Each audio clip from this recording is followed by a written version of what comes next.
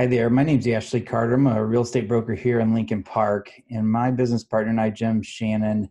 Jim's been speaking with your colleague that's assisting you with selling the home on Fremont, and uh, we understand very directly that it's been a bad ride so far, and that um, you're not interested or willing to um, commit to a broker right now, and, and, we can certainly relate to that emotion. Um, However, what we wanted to do uh, is hopefully you'll humor us and play this video back.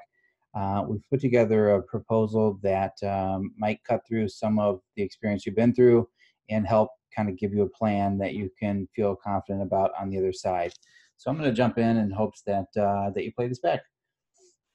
So this is a, our five steps to success, which we're going to have to cut as an abbreviated piece um, in your situation since we haven't had an opportunity to meet yet. So clearly, um, there hasn't been, uh, or we don't have a situation of mutual trust at this stage in the game. And I'd like to apologize for my colleagues um, in the industry and just the, the whole experience that you've been through so far. I'm sure it's been very frustrating and disappointing at a very minimum. And um, what we're going to outline for you is more of a strategy and a formula for uh, how to get you what you're looking for and um, not make any more promises about what we can or can't deliver. Uh, and I think you'll see a nice difference in that. So, um, you know, we typically would also review clients' motivation. Um, we'll just take it, suffice it to say that you are ready to sell and that your motivation is high because you have gotten to this far in the process. So we can find out more about that at a later time. Uh, the things that we want to cover with you that are really important um, is that we would agree on a pricing philosophy. So not just a price. Um, that's an important distinction that we'll make and go into more detail on. Obviously, we'd need to agree on a marketing plan with your input.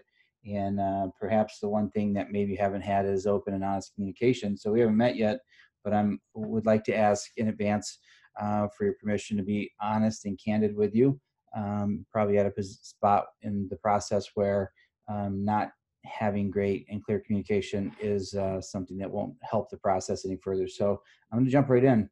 Um, so here's uh, what we would believe. There's probably a perceived issue with the property, and you would you would kind of shout it out loud and say, "Obviously, dummy, we don't have a buyer yet." Um, I would or we would take a slight different take on that and suggest that the actual issue right now with your Fremont sale is that you actually don't know where the market is for the property. Um, and that, you know, you're not going to be able to make a clear and concise, level headed business decision until you actually know where that is. Um, and the process you've gone through so far hasn't helped you get there. And so, um, want to discuss that. But finding the market is the most important part of selling the property in general. Is that so you can actually make a decision: Are we willing to sell, and what are the steps to involved? So a compounding issue of not actually knowing where the market is for the property is it's clouding your your way forward. Uh, it's unclear how long it's going to take. It's unclear what the steps need to be. It's unclear on what we need to do differently to get this done. So I we can certainly relate to all of that, and we want to cut through that clutter for you.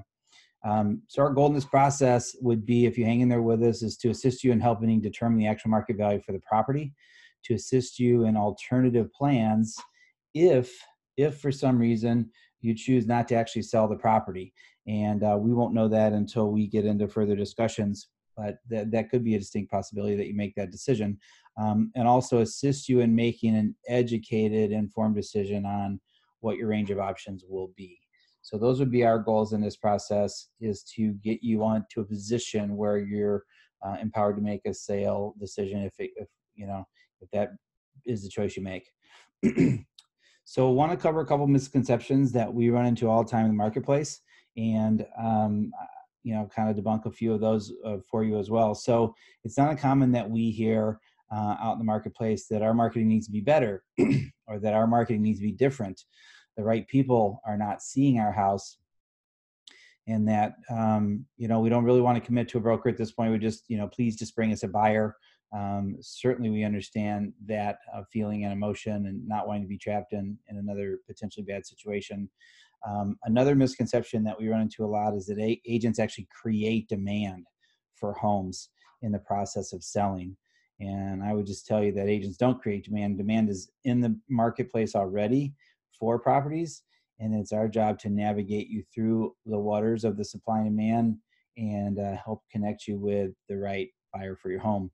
And the the final one that we hear a lot is, uh, or that we kind of see in practice, is that it's not uncommon people who are selling their property just assume a buyer will just make me an offer. I probably would entertain it, just make me an offer. Well, I'm here to tell you for selling real estate for the last 21 years that that's not how American buyers think. They don't just make offers. Um, they need to feel like the property is um, a reasonable value or valued in the range where it should be to um, start the process. And it's not our culture here to make, you know, uh, wild or what be, could be considered aggressive offers. It's just not part of the culture. And we don't see buyers do that by and large. Um, you know, it's just not part of what we do. Um, so factors that do matter. Well, supply and demand is the biggest one. I have experienced for the last 21 years that uh, I feel like we can take our eye off the ball as sellers sometimes and, and agents as to what it actually takes to sell a property and homes sell based on supply and demand and good old American consumerism, just like every other product, where if it's a car, whether it's a computer, whether it's a home, um, any sale is the buyer on the other side of that transaction is a consumer and they're looking for the best value possible. So buyers buy value. And what does that mean? Well, it means if you can imagine the um, imaginary wad of cash in their hands and they're looking comparatively at property A versus property B versus property C, D, E on down the line, and they are simply looking for the best comparative sale of that they can find in the marketplace. They don't know us. They don't know any of the history with the property, um, and frankly, they don't care. They are looking for the best deal for themselves, and um, they will make a very pragmatic decision about value based on their combination of factors. It could be bedroom count, bathroom count, condition, or layout of the property, school district, um, overall square footage. Could be lots of different things.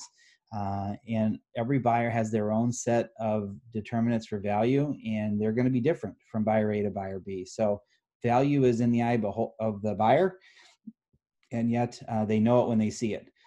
So, factors that also matter in order of importance price. Price is the single most important factor that we can bring to the table when we're selling a home. And the factors two, three, four, and five are not even close. Price is the single most important thing. Uh, but in order of importance, the next one is the condition and the layout of the property.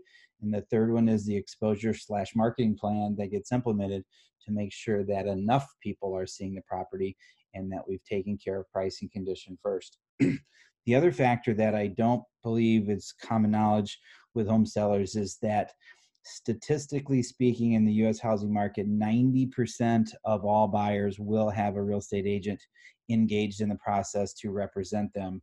And so it's important that we understand who we're marketing to and the process that we're going through as your seller's agent to get it done is. Um, you know, a big part of that is who are we talking to? So, what's it going to actually take to sell your home? Well, very simply stated, you have to adopt an appropriate pricing strategy and it's a strategy, not a price. Um, we need to confirm and secure the condition. Is there anything that needs to be done to the property to make it absolutely uh, in line with expectations for the current buyers in the current marketplace? Um, we then need to launch the exposure campaign, marketing campaign, whatever you want to call it. We like to think of it as exposure versus marketing. Um, inside of that campaign will be two most important functions. One is an agent to agent communication plan. I just covered that 90% of the buyers that will actually buy real estate will have an agent. So we need to make sure that the agents know about the property and, and the appropriate agents know about the property. And then we also have a general public communication plan for the quote unquote other 10%. So for the 10% of buyers that don't actually have an agent or will choose to move forward without one, we have a plan for those folks as well. And then the fourth step in the process to actually get the property sold is do we have to monitor the metrics? What are the metrics? Well, I'll cover that in a second. Um, and we need to adjust appropriately. If we're off of the metrics, we have to respond in an appropriate time frame and then within an appropriate increment. Um, so here's the metrics that matter. So, statistically proven, National Association of Realtors has been studying this for the last 60 years or so, and simply stated, a property is proven that it's priced too high for the current market if you don't receive an offer after 12 agent hosted showings. An agent hosted showing is again those nine out of 10 buyers that have an agent already engaged. They're walking into the property arm in arm with their agent and they're scheduling to see the property as a specific appointment. It does not mean an open house attendee, um, but it, they've actually scheduled on their calendar a special appointment to see the property. If we don't have any showings in a two week time period, okay, that's another sign that the property is likely overpriced. The market is not responding. And if we can't get to 12 showings in a 30 day period, uh, you're also not presenting the right value for the marketplace. Um, two major things that I see um, agents and sellers um, consistently do that's a misstep in the marketplace is if they're wrong on their pricing, they don't adjust in large enough increments and they take too long to adjust. The market for real estate in, in the US and specifically in the Chicago market is a very, very efficient market. There are 30,000 plus real estate agents in the greater metro area. There's tens of thousands of eyeballs on these properties literally every day. And if we're not getting the right traction, then we have to uh, make sure that we're making the appropriate adjustments. So price adjustments need to be as a minimum in the range from 3 to 5%. If you're over $2 million, it's a 5% adjustment. If you're under that, it's a 3% adjustment. And so um, it's very common in the real estate market to make an adjustment that doesn't actually move the needle. It's simply you're still communicating to the same set of buyers that already were aware of the property before. So that's a huge mistake.